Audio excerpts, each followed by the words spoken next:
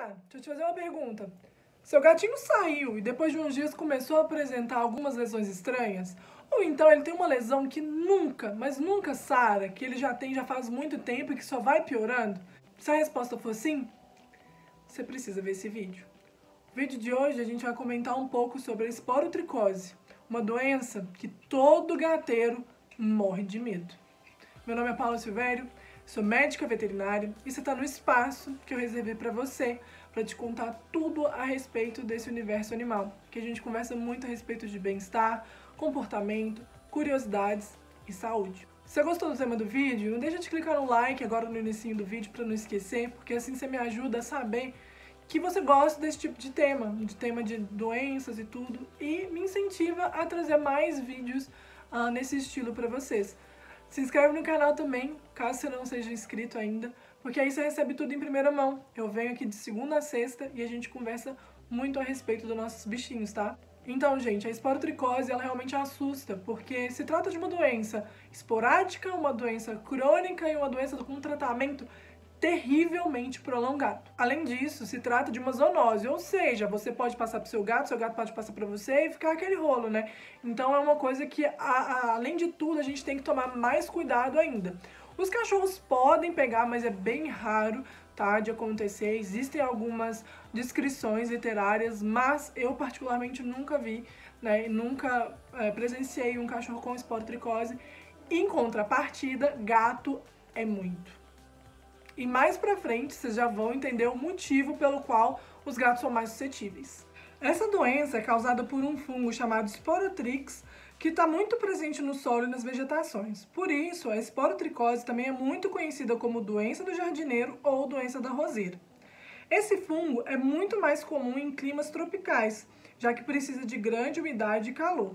Devido a isso também, a maior taxa de contaminação é no verão, já que as altas temperaturas, juntamente com as chuvas comuns na estação, são propícias para o crescimento e replicação desse fungo. Tá bom, e por que então que os gatos são mais suscetíveis? Basicamente pelos hábitos do felino. Afiar as unhas em cascas de árvores, se esconder em arbustos, se esfregar nas coisas, brigas entre gatos tornam mais propício o acometimento. Além disso, o animal pode se contaminar pelo contato direto com outro animal contaminado em lugares que possam ter a presença do fungo. Uma coisa muito importante que eu tenho para te contar é que essa doença tem três fases de acordo com a progressão.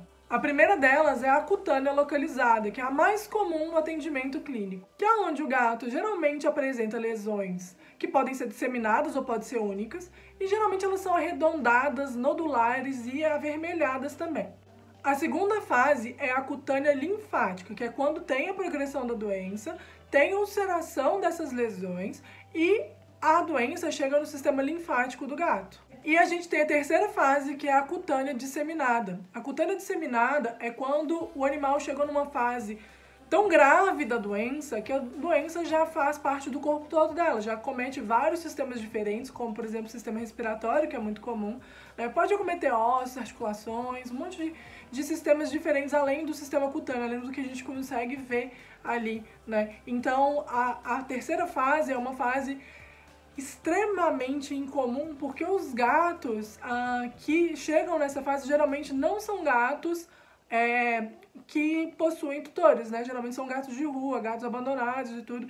Então são um pouco mais raras de chegar até nós.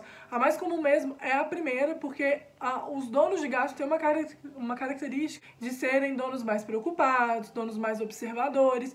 E nesses casos, eles já veem a lesão, já notam a diferença e já levam para o médico veterinário. Essa é a melhor fase para iniciar o tratamento. Geralmente a gente tem uma melhora clínica muito mais rápido do que as outras fases, né? E além disso, a gente tem menos complicações devido à doença também. Mas eu tenho certeza que só de eu falar assim por cima, você já percebeu que essa doença é muito grave, né? Então todo cuidado é pouco. Um animal que está contaminado, ele tem que ficar longe dos outros, sem contato direto ou indireto, ou seja, se o seu animal contaminado estiver num cômodo da casa, nenhum outro animal deverá frequentar esse cômodo, deverá dividir a vasilha de comida, caminha, nada, tá? Então, evitar contato indireto e direto.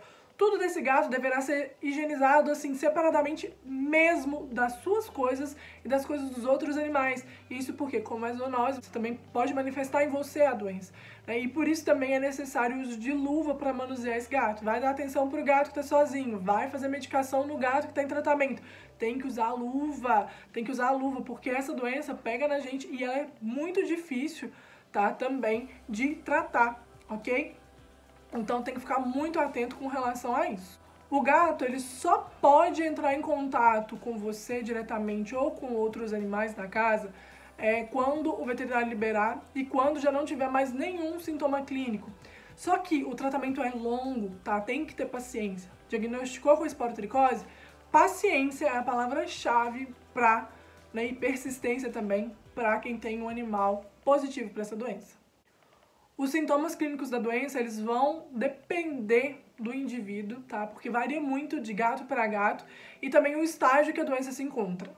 É mais comum que essa doença você consiga ver as lesões, né, nas partes de extremidade, ou seja, focinho, ponta de orelha, rabinho, é, patinha, que é onde tem um contato direto normalmente com o fungo. Mas isso não quer dizer que só porque apareceu em outra, outro lugar, tipo no flanco, por exemplo, que não seja, tá? Geralmente a lesão ela é nodular e avermelhada. Você nota que não vai ter pelo no local, vai ser realmente uma bolinha assim, altinha e vermelha.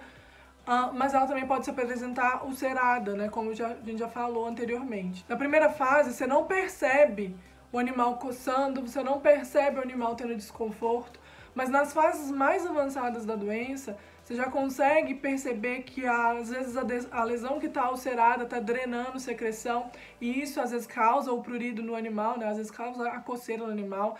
E o que piora muito, porque acaba virando um looping eterno. Ele coça a lesão onde tem o fungo e aí a, é, passa daqui pra pata, pra unha, enfim, abre a lesão aqui também, ele vai lá e coça a orelha, abre na orelha. Então ela começa a se disseminar muito mais rápido quando o animal tá se coçando. Então a gente tem que controlar isso também. O que eu quero que você entenda, tutor, é que eu sei que todo mundo que clica num vídeo de doença tá esperando que eu dê a solução. Mas eu não posso te dar a solução porque eu não tenho a solução. A solução você vai conseguir com uma consulta com um médico veterinário. Isso porque, infelizmente, biologia não é matemática. Infelizmente, na biologia, nem sempre um mais um é dois, tá? Infelizmente, não, não a receita médica não é receita de bolo, tá? Cada indivíduo tem uma necessidade diferente. Às vezes, para o seu animal que está com vários sintomas, se eu passar uma, uma medicação só, não vai fazer efeito nenhum. Às vezes, para um animal que tem tá super tranquilo e tal, você passa aquele monte de medicação, vai fazer mal para ele. Então, isso é muito individual. Não adianta vocês clicarem nesse vídeo esperando receita de bolo, tá? Então, quem dá receita de bolo para isso é quem não entende a gravidade de um animal tomar uma medicação super forte sem necessidade. Então, tem a necessidade sim de você levar no médico veterinário, fazer exame para ver se realmente é esporotricose, uh, fazer os exames uh, de, de função hepática e renal, que são importantíssimos durante o tratamento, né? Uh, fazer outros exames para a gente ver como é que está o estado do gato, para ver se ele pode fazer medicação mais forte, se ele não pode. Então, isso depende de indivíduo para indivíduo, tá? Isso depende de critério veterinário. Então, cada um é de um jeito. A gente não pode pegar uma receitinha de bolo e dar tudo para todo mundo, tá bom? Eu quero só que vocês entendam que um tratamento ele vai muito além de remédio. Ele vai de orientação, vai de indivíduo para indivíduo. Uh, é muito fácil passar uma receita de bolo e se essa receita de bolo não der certo, como é que você vai fazer? Entende? Então, é, o seu animal ele precisa ter acompanhamento, ele precisa ter uma prescrição médica, ele precisa seguir né, protocolos que são comprovados que deram certo para o jeito que ele está, né, e não para um jeito geral né? Porque cada doença manifesta de uma forma diferente. Às vezes ele pode ter uma, uma doença secundária ali, né? Às vezes não, às vezes ele tá tranquilo. Ou às vezes ele pode ter outras coisas que dificultam com que ele fique bem daquela doença. Então você tem que realmente investigar. Agora, uma coisa eu te falo, porque isso aqui eu posso falar, porque não vai mudar. O tratamento é chato, o tratamento é, é longo demais e é caro. O que vai mudar é que quanto mais você deixar, quanto mais piorar, né, a, a doença, a situação do seu animal, mais caro vai ficando, mais longo vai ficando mais chato vai ficando. Porque o gato acaba que ele vai enchendo o saco, né, de tomar medicação por vários meses.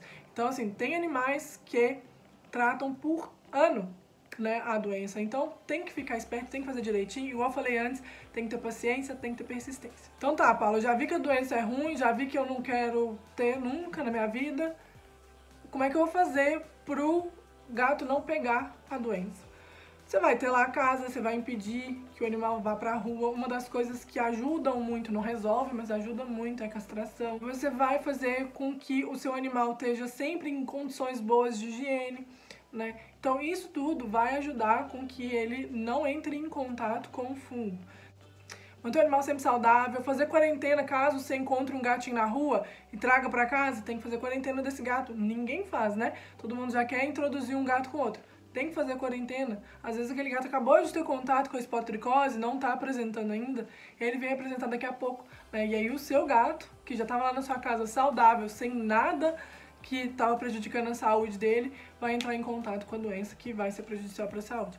Então, cuidado, tá? Porque às vezes você está fazendo bem para um e prejudicando a vida do outro.